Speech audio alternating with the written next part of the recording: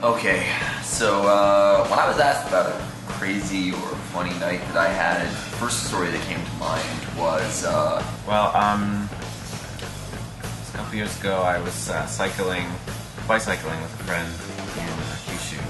We went to the pub, had a few beers. This is probably like the strongest drink I've ever had in my life. There was tequila. Lots.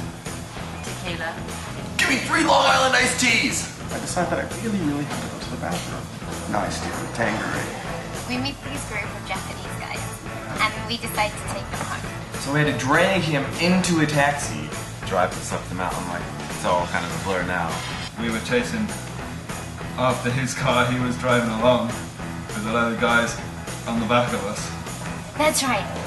I'm gonna have sex with a Huge ex sumo wrestler. I wake up, uh, rush out, and thankfully have not yet been arrested for it.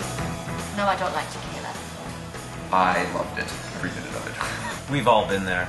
We've all been there, right? We've all been there, right? We've all been there, right? We've all been there. You've been there. We've all been there.